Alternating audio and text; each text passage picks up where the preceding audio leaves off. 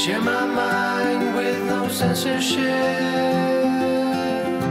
hang all out to dry. A teardrops hanging from your upper lip, clinging on, afraid to fly.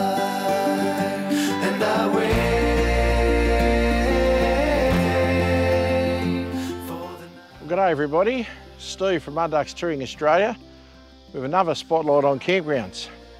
Today we're at the Coles Bridge camping area. So I'll give you a quick look at it because you don't need to look at my mug, do you? Okay.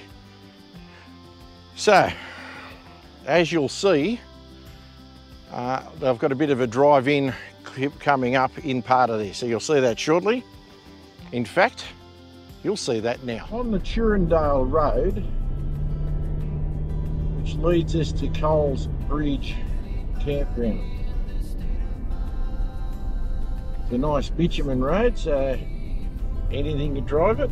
It's a big enough bitumen road, so it looks caravan friendly. For those with caravans. A lot of goats in the paddocks at the side. I don't know if you're getting those on camera at all, guys. This is a nice normal bitumen road. We're two kilometres roughly from the Coles Bridge camping area, so we'll show you that when we get there.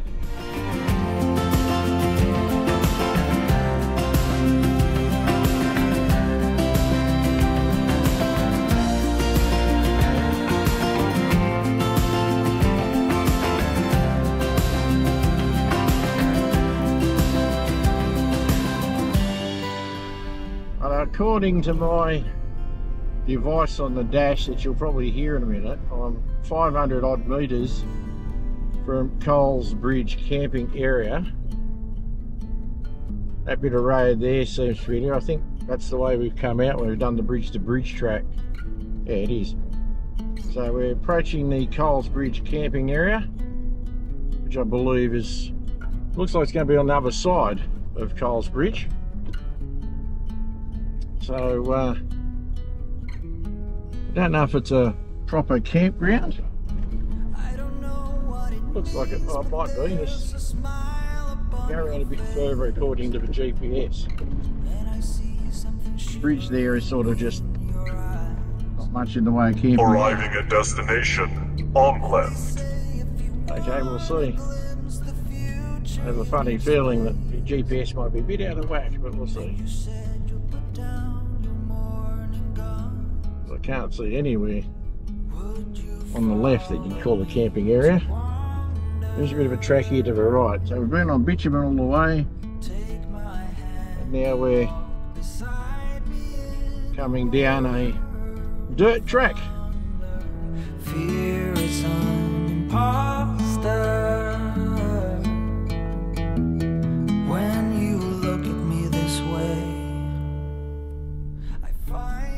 Follow it. It looks like it might be a way to get to some camping. There's certainly pretty sure there's things camped down in here, so just going to give way to these guys and keep going down, having a bit more of a look. So that's a two-wheel drive van and a little Subaru. So that says you should be able to get down here in nearly anything. Like it might be a bit more across the river anyway. We'll, we'll have a look at it. Uh,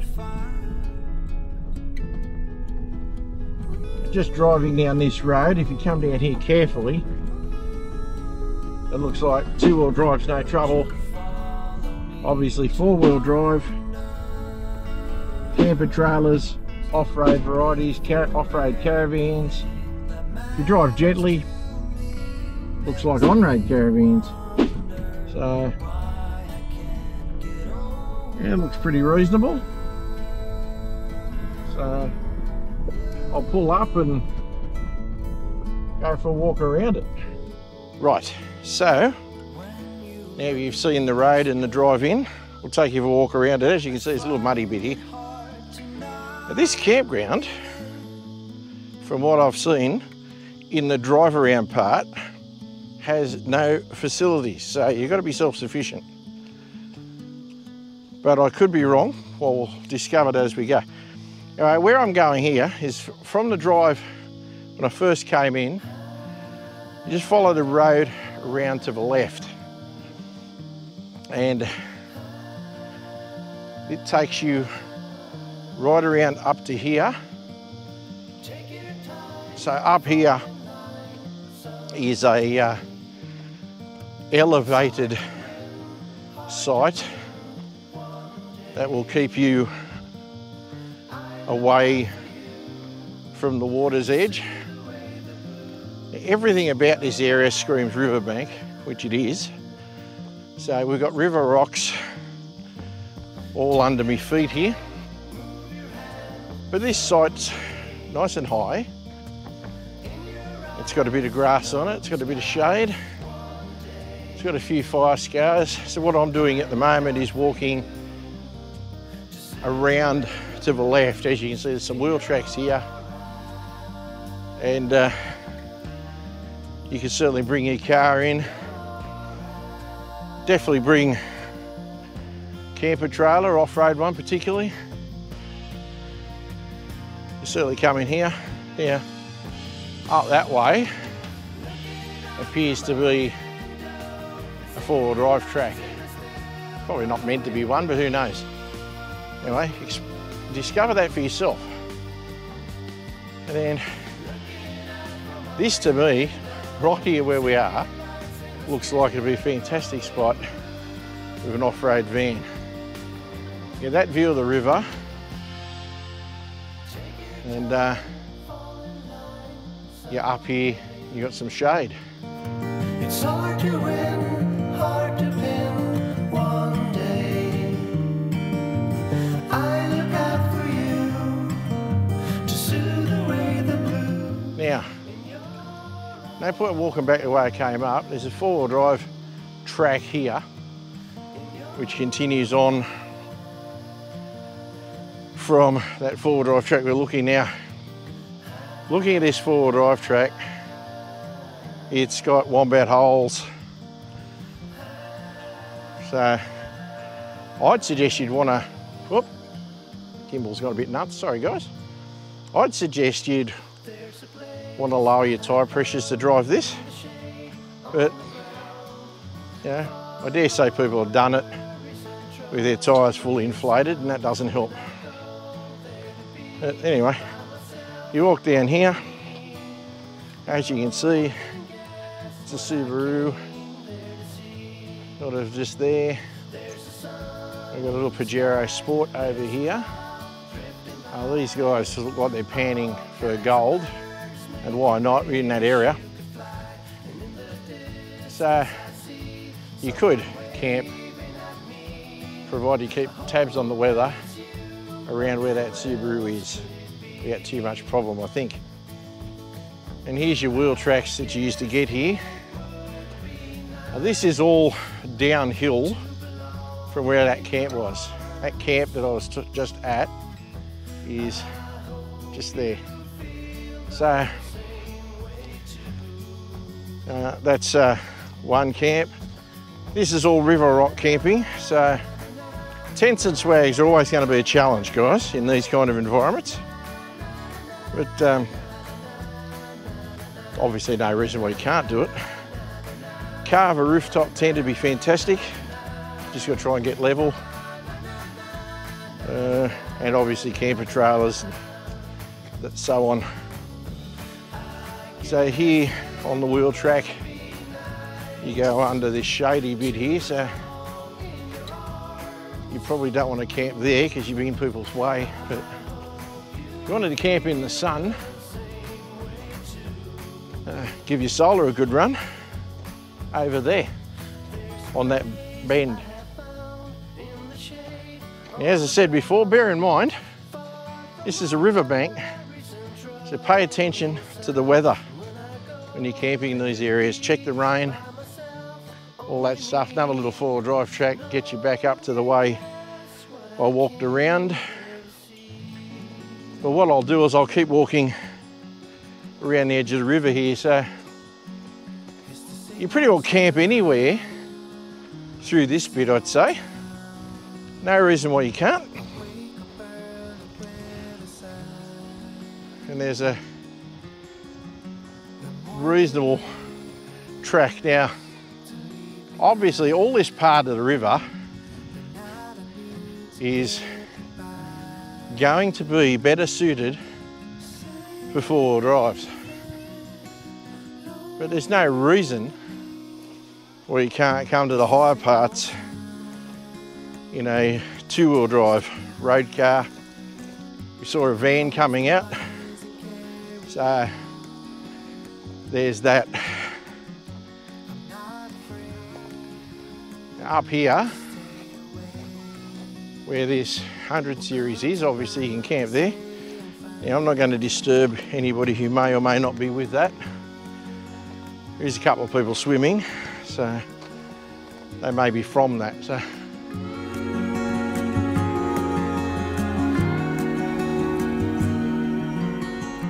It's the same old sound. The common ground. because of that, I'm up on the next level. Now you can see where the Land Cruiser is. So you can come around here, choose your own adventure a little bit.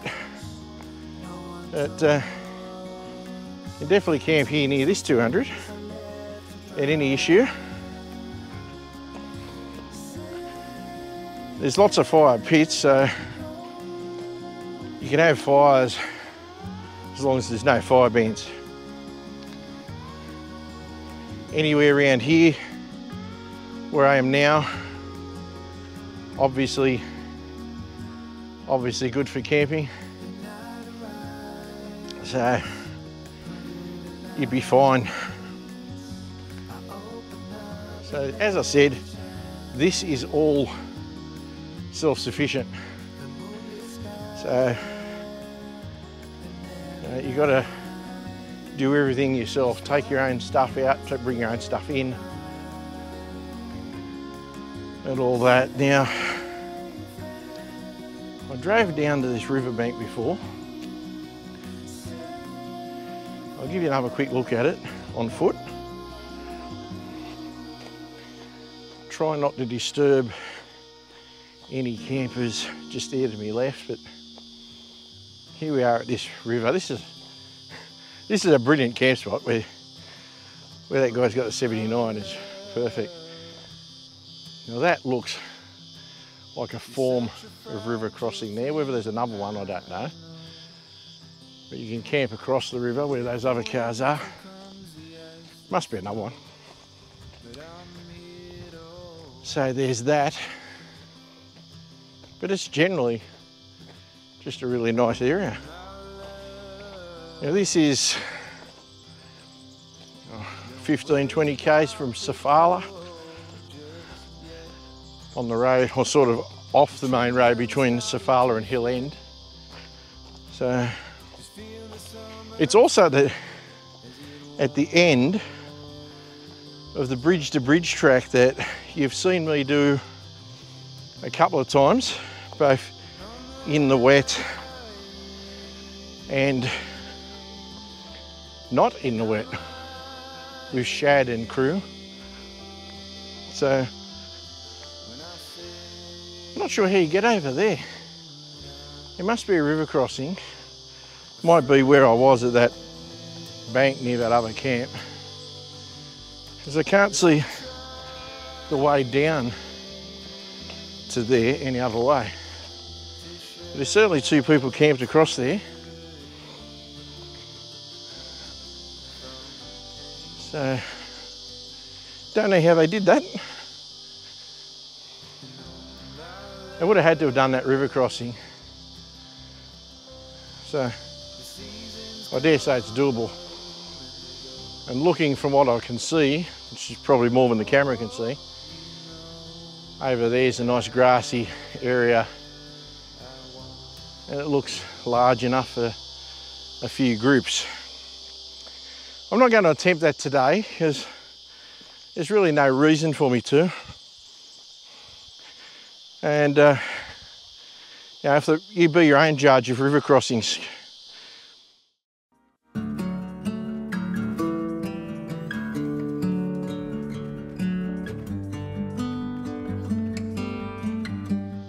So when you come here, but there's plenty of camping on this side and a reasonable amount over there by the look of it. So I don't know what else to tell you. This is just how it is.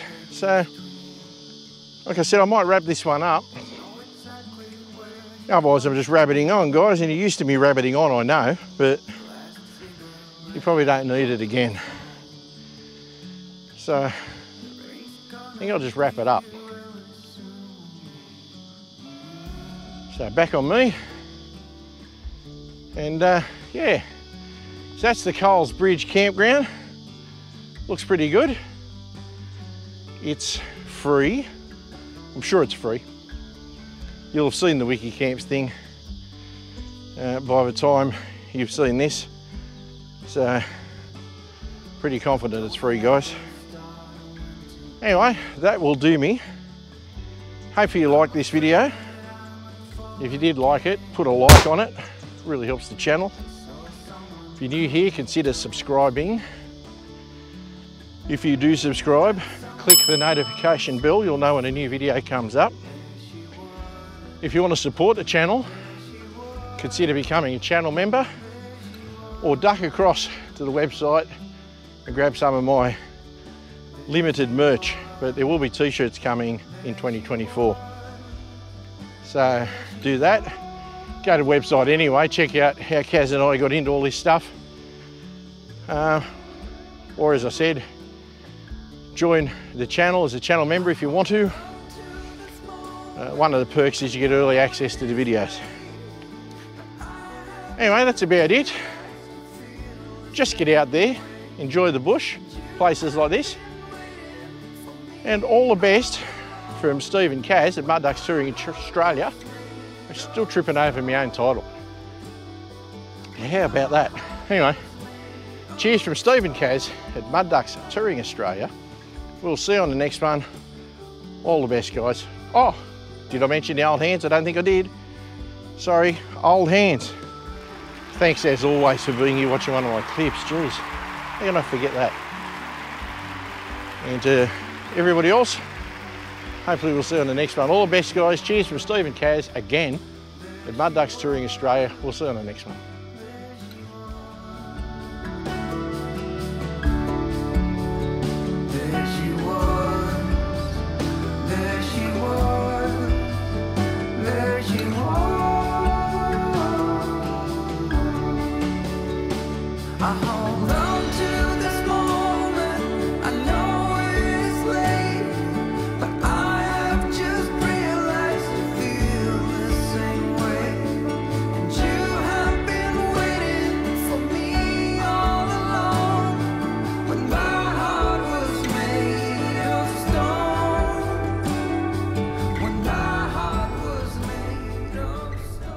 Adding to the Coles Bridge camping area, the part I couldn't work out how to get to is actually on the other side of Coles Bridge. So you cross back over the main bridge and you can drive down this little track and that takes you into where those cars were that I could, or are, that I could see from the other side. So I'm just driving in it now. There is people camped down here, so I'm not going to I'm not even going to get out of the car, guys. Let's go a quick look from the car just to show you what there's here. But this one's a lot of lantana and blackberries and things there. So it's enough space for these two cars. There's a little bit more room just down on the left at the river there. But as you can see, where they are is probably the premium spot. A little bit more room down to their left. So not very much going on on this side. Oh, what I did forget to tell you is the activities. I don't know too much about most of the activities in the area, but gold panning seems to be very popular. So I'd suggest that's probably it. Hey guys, just a little extra bit. We'll catch up you later. Cheers from Stephen Kaz at Mudducks Touring Australia. See you in the next one.